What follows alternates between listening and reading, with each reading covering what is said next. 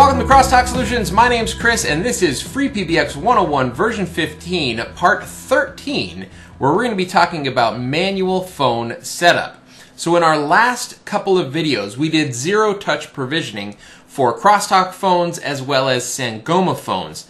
That is the process of plugging in a phone from a factory default state and having that phone go through a whole bunch of different processes to get all the way through to registered to your phone system as whatever extension you have assigned it to. That works great for phones that support zero touch provisioning, especially if you have large numbers of phones. But what if you have one off devices like this Yealink T58A uh, telephone that I have sitting right here? Or what if you have other devices such as paging systems or anything SIP enabled, like a video door phone or, or anything that might not be able to be provisioned automatically? Well, in those cases, you can always do some level of manual SIP setup for those devices. And basically, any SIP enabled device should have the ability to connect as an extension on FreePBX. You really only need to know three things. You need to know the IP or FQDN of the PBX itself. You need to know the SIP username for the extension that you're trying to configure, and you need to know the SIP password for that same extension. So what we're going to do in this video is we're going to set up this Yealink T58A manually uh, so that I can show you that process. And, and while I happen to be doing it on this nice fancy T58A video phone, it's going to be essentially the same process for any SIP enabled device so long as you can put in the IP or fully qualified domain name of the PBX, the SIP username, and the SIP password. Okay, before we get started, if you guys are enjoying this video series, make sure you give me a thumbs up and subscribe to Crosstalk Solutions so that you don't miss any of these wonderful tech videos. We try to do two to three tech videos every single week. And if you're looking to just buy me a beer, there's a link down below to do that as well. Here I am at the FreePBX dashboard, and the first thing we want to do is find an extension that we're going to use with this phone. So I'm going to go to Applications and Extensions. And then we're going to pick the next extension. So I already did Michael Scott. I've done a phone for Dwight Schrute. So we're going to use this T58A as our Jim Halpert phone. Let's go ahead and edit that extension. Now remember, what are the three things that we need to know? We need to know the IP or FQDN of the server. In my case, it's testpbx.crosstalksip.com. Then we need to know the SIP username. In this case, it's 202, so it's the extension number. And then finally, we need to know the SIP password, which can be found right here where it says secret. If you just select this right here, that is your SIP password. Now, by default, they give you a really strong SIP password, and that's easy to use with the phones that can be automatically provisioned because the system is putting the password into the phones for you. Some devices, you might need to manually type in or, you know, enter through a keypad the password, but I would still recommend keeping it as a very strong password because you do not want any of your devices to get compromised by having a password like, you know, 12345 or something. So just go with the password that they give you. The only caveat there is some older devices might not be able to take a password as long as the one that is generated by default for extensions in FreePBX. I know there are some older like uh, equipment that we've dealt with where we had to truncate the password down to like 16 characters or less in order for it to actually work. So if you're working with really old equipment and you think you're setting everything right, uh, but it's still not working and not connecting to your server, try shortening the password down to see if that works with that older, sort of more legacy equipment.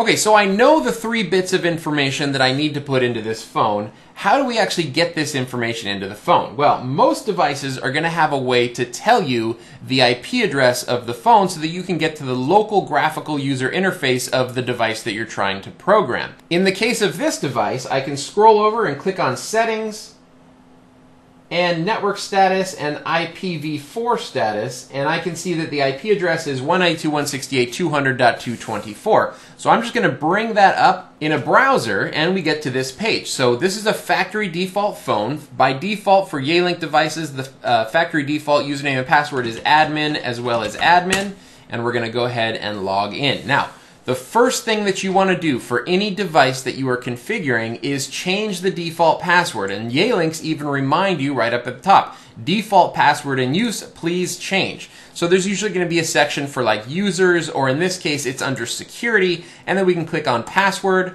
put in the old password of admin, and then we're going to add a new, much stronger and more secure password uh, for GUI access to this phone. And we will now confirm that. It should log me out and have me log back in, which it looks like it did. When you are auto provisioning phones, the GUI password is set automatically, so you don't have to do this step. This is just something that you should be doing if you are manually configuring these phones. All right, so I'm going to log in now with my new credentials. And the first thing I want to do is find where we put in the server and username and password. And sometimes this is all in the same place, other times I've seen it where you put the username and password in one section and the SIP server information in a different section. So if you just sort of scroll around the interface and look at all of the different settings, you should be able to find where to put in those three bits of information. So we're going to click on register in this case. We have up to 16 accounts available, 16 different SIP accounts available for this phone, but again, we're only going to use one. In most cases, you're only ever going to use one. The line active is set to off, so we want to turn line 1 or account 1 on. For the label, we're just going to put the extension number, which is 202. For the display name, we're going to say Jim Halpert. For the register name, we're going to say 202, and the username, we're going to say 202. And then for the password, we're going to paste in the password that we copied out of the extension details from FreePBX.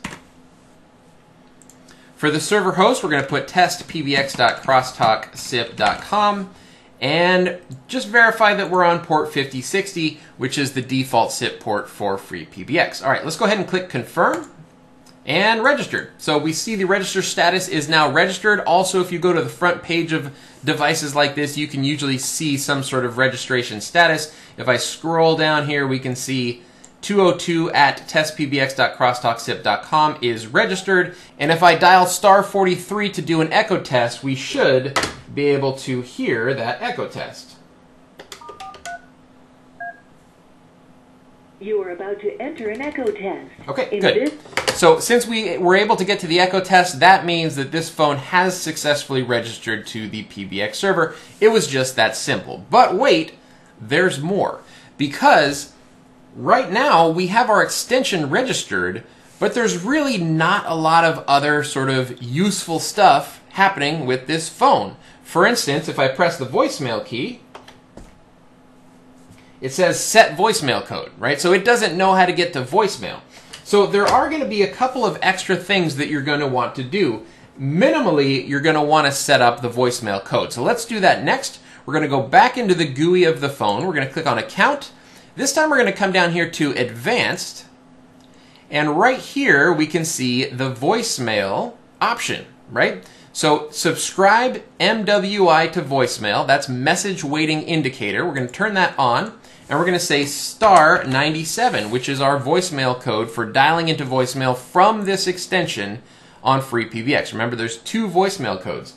There's a voicemail code for dialing into voicemail from the extension that you're using, and then there's a voicemail code star 98, which is for getting into voicemail for a different user's voicemail box.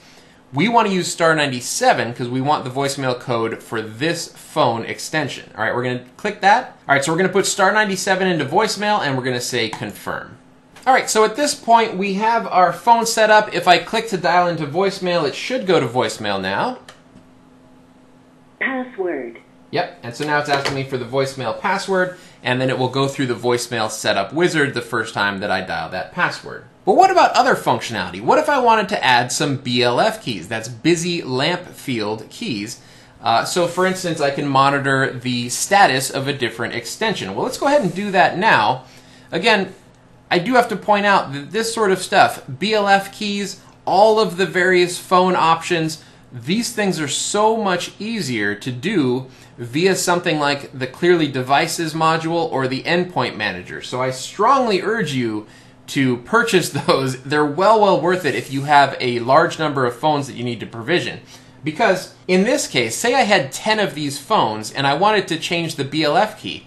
If I have set them up manually, anytime I need to change a BLF key, I have to go around to every single one of those phones and manually change that BLF key. Whereas with the Endpoint Manager, all of those phones are locked into a phone template, so I just have to change the button on the template and hit apply, and it pushes that out to all of the various phones that use that template. If we did want to set up a BLF key manually, we can click on DSS key and then click on line key. And this allows us to set up all of the different keys down the right hand side of this phone. So for line key 2, we're going to say BLF, busy lamp field, and for line key 3, we're going to say BLF. So the value is going to be the extension number that I want to monitor. So we'll say 200. The label is going to be Michael Scott. And then the extension is going to be 200 as well. Then we'll have a BLF key for Dwight Schrute. And that is extension 201. Let's go ahead and confirm that. And now I have extra buttons on this phone for Michael Scott and Dwight Schrute, let's go ahead and take a closer look with my camera so we can see a BLF key in action. Okay, so here we can see Michael Scott. Now, of course, BLF keys also function as speed dials, so I can click Michael Scott, and it rings this phone over here. We can even see Jim Halpert's picture. I can pick it up, and we are now talking, and while we're talking, take this off speakerphone, uh, notice that the BLF key for Michael Scott is now red because Michael Scott is on an active call. So the BLF key indicates uh, or turns red when someone's on an active call. All right, let's hang that up and we should see it go back to green. There we go. Okay, so there you have it. That is how you set up devices manually if you're not using Clearly Devices or the Endpoint Manager to automatically provision your phones. Again, I strongly suggest, I cannot urge you strongly enough to get into auto provisioning of these phones. It's just so much easier than doing it manually, especially if you have a large volume of phones to administer. All right. Thank you guys so much for watching. In the next video, we're going to talk about soft phones. All right, we will see you in the next one.